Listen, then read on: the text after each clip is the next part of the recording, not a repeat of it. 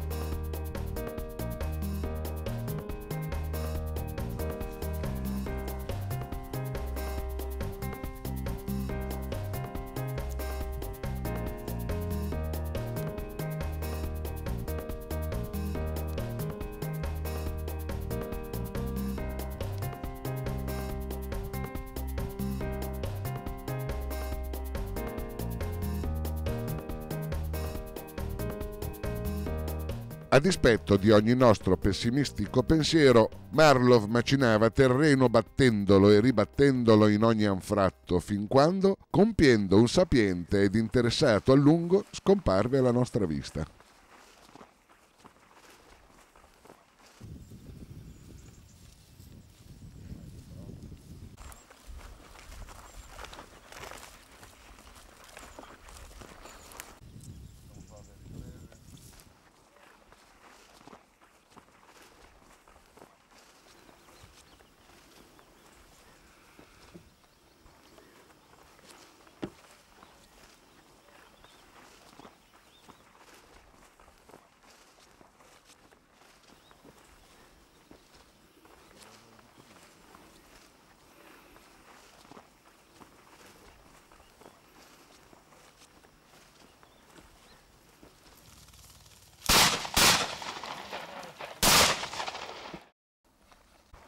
Tanto eravamo dunque agitati da velleità protettive nei confronti del nostro pupillo che al suo primo arresto ci eravamo avvicinati al cane puntato con lo spirito di chi, invece di un fucile, maneggiava una ramazza per accatastare foglie al lato di un cortile. Ed il risultato non poteva essere diverso dalla fantoziana impappinatura nella quale eravamo incorsi, padellando la starna fermata da Marlov e forzata da Bullo in un incomprensibile quanto sclerotico impeto di gelosia. In seguito all'inconveniente appena occorso, ci rimettemmo a caccia con disseppellito puntiglio.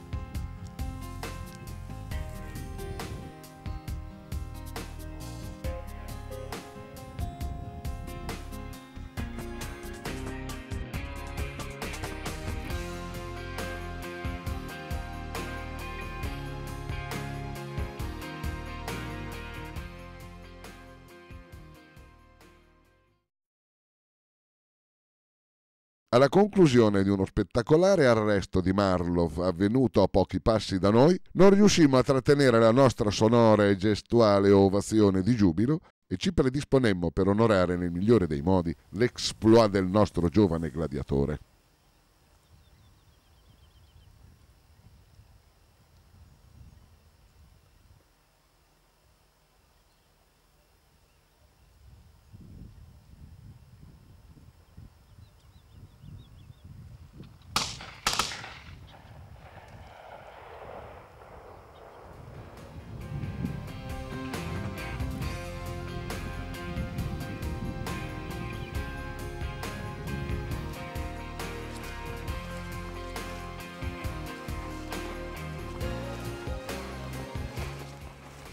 Ad onore di firma, dobbiamo confessare che nel momento successivo al riporto effettuato da Marlow fummo proprio noi a subire un lieve crollo psicofisico, certamente dovuto alla picchiata improvvisa del carico di adrenalina, alla assoluta mancanza di allenamento e soprattutto in virtù di un brontolio intestinale provocato da un anomalo digiuno.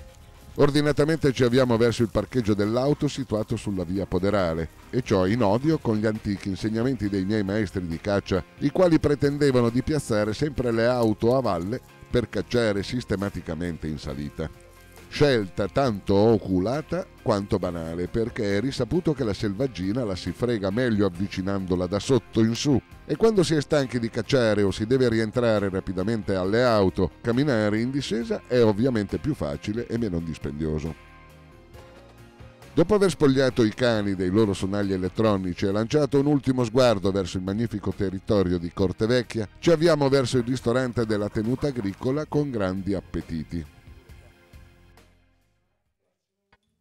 Il turno con i due setter si era dunque concluso nel migliore dei modi e raggiungemmo presto i nostri alloggi nella villa rinascimentale della tenuta Corte Vecchia.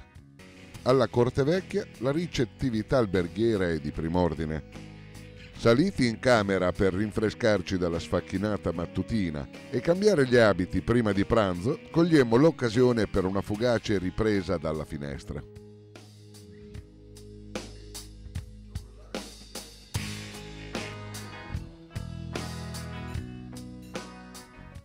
Il ritardatario Marco, ci raggiunse al ristorante quando noi eravamo già al dolce a base di tarallucci e vinsanto. Poi tutti insieme ci avviamo verso una nuova e collettiva avventura di caccia.